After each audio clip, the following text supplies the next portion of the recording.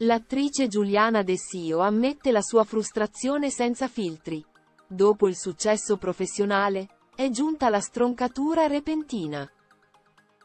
Classe 65. L'interprete salernitana Giuliana De Sio ha collaborato con i registi italiani più talentuosi e celebri, tra di essi anche Massimo Troisi, Mario Monicelli e Francesco Nuti, e il suo talento le ha fruttato due David di Donatello, uno nastro d'argento, uno Chuck d'oro ed uno globo d'oro. Ha inoltre prestato il volto anche ad alcune fiction televisive, ad esempio, Il bello delle donne, Il peccato e la vergogna, e L'onore e il rispetto, e calcato infine numerosi set teatrali. Dal 2022, infatti, Giuliana De Sio è impegnata nella tournée del suo spettacolo, La signora del martedì, di Massimo Carlotto, e non ha alcuna intenzione di appendere i copioni al chiodo. L'attrice si è recentemente raccontata alle pagine di Repubblica, ed ha rievocato alcuni eventi della sua vita che l'hanno decisamente destabilizzata, sia dal punto di vista umano, che professionale. Nonostante la grinta, l'avvenenza e l'indubbio talento sulle scene, Giuliana De Sio ha affrontato un momento di impasse lavorativo. Ed ha riferito a Repubblica. Il cinema è stato la mia grande delusione.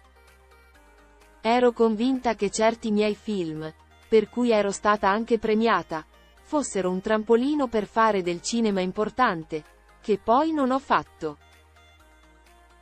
L'attrice ha quindi spiegato. Di solito si spicca il volo.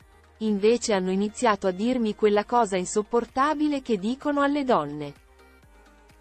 Che sono difficile da collocare in qualche ruolo importante cinematografico o televisivo. Perché non dimostro l'età che ho.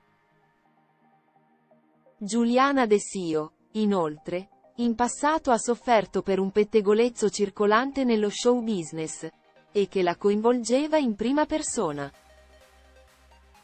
La sua ascesa al successo è stata infatti frenata anche dalle dicerie circa il suo temperamento, ritenuto da alcuni roccioso e assai scostante. Giuliana De Sio ha ammesso al riguardo. Mi ha fatto molto male. Giuliana De Sio si smarca dai rumors ricorrenti. È una calunnia.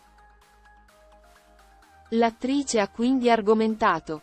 Questa diceria che sono una persona impossibile. È una calunnia.